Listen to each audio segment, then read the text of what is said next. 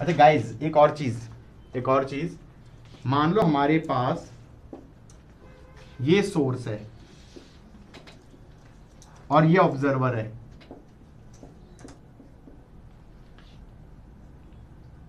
और ये इधर चल रहा है वी एस से ये इधर चल रहा है वी नॉट से। सही है? वेव चलेगी ऐसे इसकी फ्रीक्वेंसी थी एफ़ नॉट इसे सुनाई देगी एफ़ डैश एफ़ डैश कितना हो जाएगा?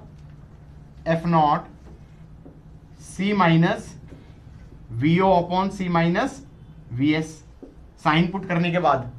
साइन क्या हो गया? सोर्स टू ऑब्जर्वर वाली डायरेक्शन को ले लिया. पॉजिटिव उसके हिसाब से होता है. एम राइट पक्का? अब मैंने कहा रुको. रुको, शांत. बीच में हवा चलने लग गई. बीच में हवा. एयर एयर चल रही है। एयर चल रही है। कितने से चल रही है? वीए से। तुम ये देखो देखो, मैंने कहा था जो ये वेव स्पीड होती है, वो किस पे डिपेंड करती है? किस पे डिपेंड करती है? इलास्टिक प्रॉपर्टी ऑफ़ मीडियम ये किस पे डिपेंड नहीं करती कि सोर्स कितनी तेज चल रहा था। जो उसको छोड़ रहा है वेव को, वो कितनी तेज चल रहा था, उससे फ़र्क नहीं पड़ता। इससे तो पड़ता है कि हवा चल रही है, क्योंकि वो तो मीडियम चलने लग गया। समझ में आई बात है नहीं आई? हवा चल गई मीडियम चल गया। तो अब मैं कह सकता हूँ कि इफ़ेक्टिव स्पीड क्या हो जाएगी? ये भी उसी डायरेक्शन में है एयर की स्पीड के। तो मैं कहूँगा यहाँ पे लिखना चाहिए हमें सी डैश सी डैश बोल दो बेसिकली क्या हो गया? इफ़ेक्टिव स्पीड और इफ़ेक्टिव स्पीड कितनी हो जाएगी?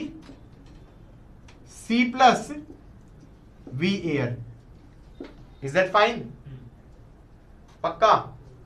जैसे मान लो कह दें वेव स्पीड थी हमारी 300 मीटर पर सेकेंड और ये कह दिया वेलोसिटी ऑफ़ एयर थी, मान लो 50 मीटर पर सेकेंड तो हम कहेंगे सी इफ़ेक्टिव कितना हो जाएगा? 350 लेकिन अगर हवा इधर की तरफ़ चलने लग गई तो? चल सकती है। एयर ऐसे चल रही है। और वेव ऐसे जा रही है। तो उस केस में सी इफ़ेक्टिव हो जाएगा सी माइनस वी एयर अब ये मत कहना कि मस्त केस मस्त केस। हवा अगर स्पीड ऑफ़ साउंड से तेज चली जाए that will be fun man मतलब मस्त स्पीड से हवा आई, तुम वहाँ पे खड़े हो, तुम्हें भी उड़ा के ले गई। तो फिर वेव पहुंचेगी ही नहीं। फिर तो वेव पहुंचेगी ही नहीं। एनीवे गॉट इट और नॉट इसमें भी ध्यान क्या रखना? ये सब चीज़ें तो अपने साइन के साथ डालोगे ही डालोगे। अब जैसे ऐसे सोचो ना, ऐसे सोचो।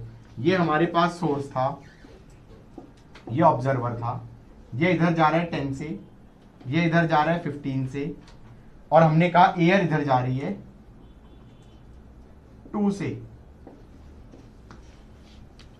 तो क्या मैं कह सकता हूँ source to observer positive direction होती है?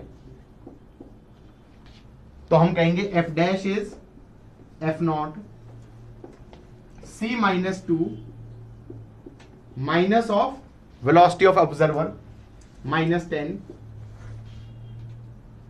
upon C minus to minus of velocity of source is minus fifteen done ये कौन सा केस होगा जिसमें मीडियम भाग लिया? ये कौन सा केस होगा जिसमें मीडियम भाग लिया।